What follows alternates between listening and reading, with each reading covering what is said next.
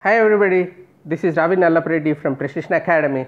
Today I am going to talk about invasive alien species.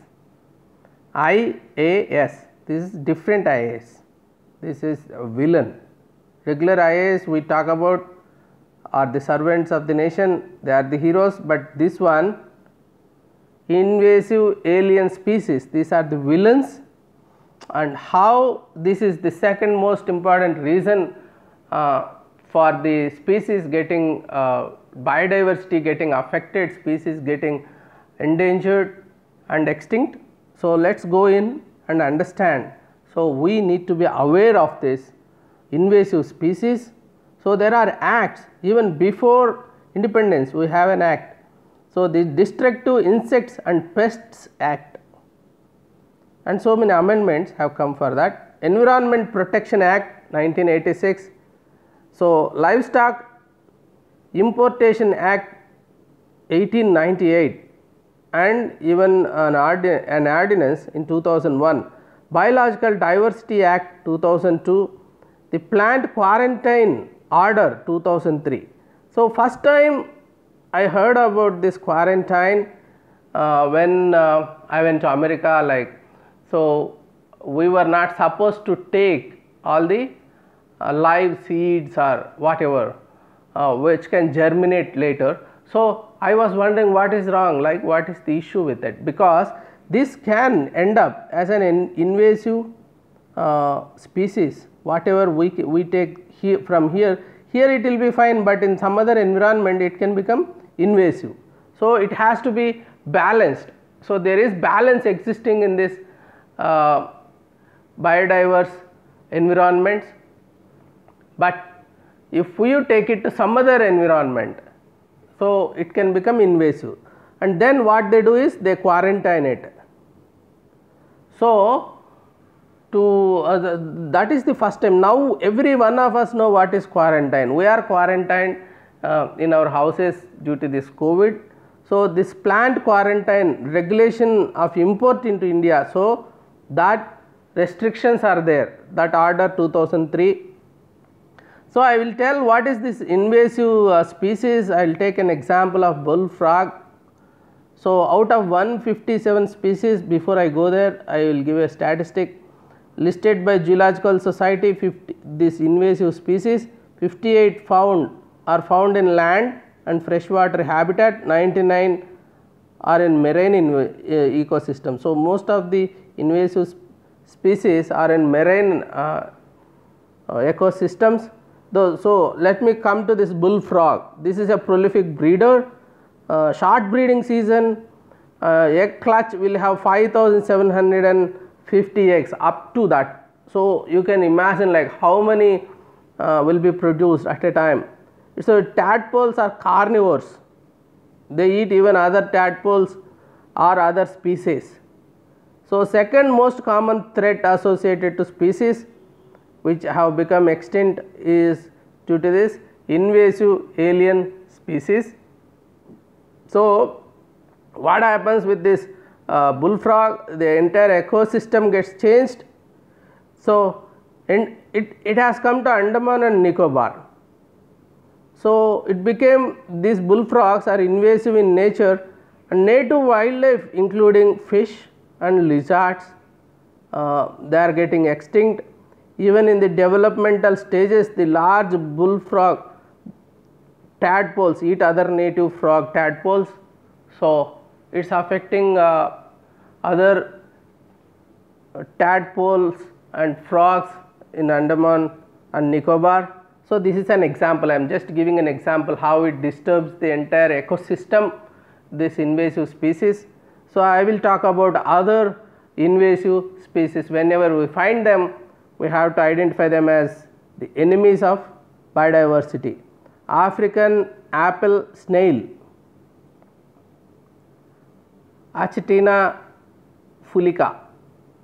So, it is uh, which area is affected Andaman and Nicobar found across the country now threatened habitats and several native species. Just for remembering purpose I am showing you a picture where it is trying to eat an apple. Uh, oh see this horrible picture uh, papaya mealy bug. If, if the farmer sees this, he will have heart attack. The reason is you see this, who will buy this, what we can do with this. If one tree gets it, uh, all other trees like again like COVID. COVID is also an invasive species for humans. So, if one gets it, other also others also will get, then all the investment farmer has uh, made maybe due to by, by taking uh, loans and advances, if he has invested huge amount of money for this papaya, it's gone. Paracoccus marginatus. So, where, where which of the areas affected Assam, West Bengal mainly in these areas and also in Tamil Nadu. This uh, species is uh, native to Mexico and Central America, now that has come to us. So, it destroyed huge crops of papaya.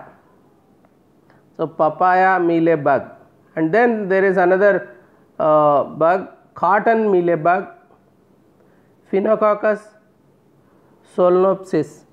So, it's, it affected all the Deccan uh, plateau. So, it, it is native to North America, it, it, it affects cotton crops. Amazon sailfin catfish.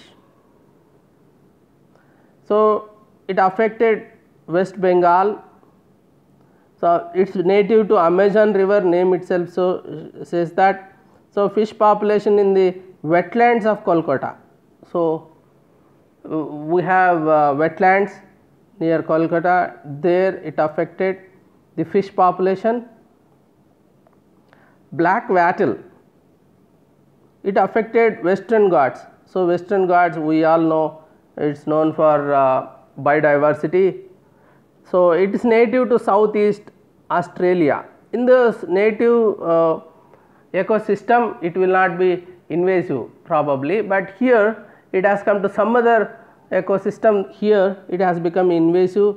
It, it is distributed in forest and grazing lands in high altitude areas, it is affecting all those areas. Water hyacinth, hyacinth. So, it is it's there throughout India you can see so many lakes are getting uh, covered by this. So, the uh, the organisms uh, which are aquatic in that lake they will have problem of getting sufficient oxygen because of this. So, this, uh, this is an aggressive colonizer. So, abundant in still slow floating waters, still waters or slow floating water, it, it survives there. It is a nuisance for aquatic ecosystem, it is a big nuisance. So, black mimosa,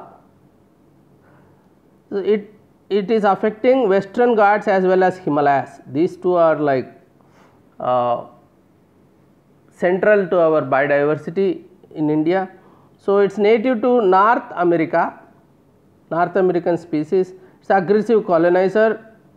So, it affects uh, water courses, seasonally flooded wetlands. That is where it is affecting and then there is something called Congress grass Parthenium. So, it is it is again the present throughout India, it is from tropical North America, it is an aggressive colonizer, it is a common weed even in uh, cultivated lands you can find it, it is a common weed, it is avail it is a weed in uh, forests. So, overgazed pastures, wetlands and gardens. And one more uh, important one Prosopis juliflora, remember this Prosopis juliflora uh, affected Asia, Africa, Australia in so many continents uh, it, it is affecting it is an invasive species it is native to Mexico and South America. So, it has come to Africa, Asia, Australia now. Uh, so, what it does? So, it is a contributing uh, factor for continuing transmission of malaria. So, during dry periods when sugar sources from native plants are unavailable to mosquitoes in that time uh, So, it is indirect. So, we do not know this, this entire system will have a balance, everything is balanced. So, it disturbs the balance. So, that leads even to spread of malaria. So, Prosopis juliflora, it is an invasive species that is what you need to remember. Even India is getting affected due to Prosopis juliflora. Cannibal snail, rosy wolf snail. So, it is affecting the Indian Ocean. So, native to southeast USA. So, these are and uh, this is affecting us now in Indian Ocean. So, Indian bullfrog I told about. So, it is native to Afghanistan, Bangladesh, India, Myanmar, Nepal, Pakistan. Threat to marine species, small endemic vertebrates. So, Lantana camara. This is Bandipur, this is affecting Bandipur National Park in Karnataka, native to South America, but now we have it in Bandipur National Park. So, it hinders growth of native vegetation and herbivores like deers, elephants, they all depend on native vegetation. This affects native vegetation. So, these deers and uh, elephants they do not find the food which they were habituated to have.